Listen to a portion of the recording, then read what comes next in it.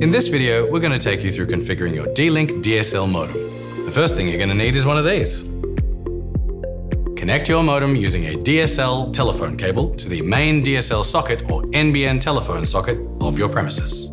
Make sure it's plugged into the wall and the power is on. You should see a solid green light for the power icon.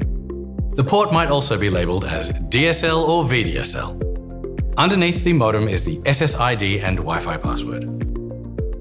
Use this to locate the Wi-Fi name on your computer and then join the network. Now, don't worry.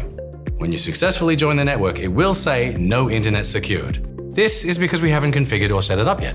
Open the internet browser on your computer or phone and type in 192.168.1.1. You can also check the bottom of the modem for the correct IP address if that doesn't work. You'll be prompted for a username and password. Ready for it? Username in lowercase is admin. Password in lowercase is admin. You can also check the bottom of the modem. In fact, when in doubt, that's the best place to look. Once logged in, it will take you to a quick setup window. Click Next to start setup. Once you're in the ISP settings window, set the WAN access type to VDSL. Select your country, then press Next under the Configure your internet connection window, select Dynamic IP Address. Sometimes this option may be displayed in the following format. In this case, select DHCP Connection, Dynamic IP.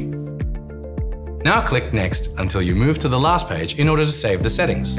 It should take 2 to 4 minutes to go online. Please test the service once done.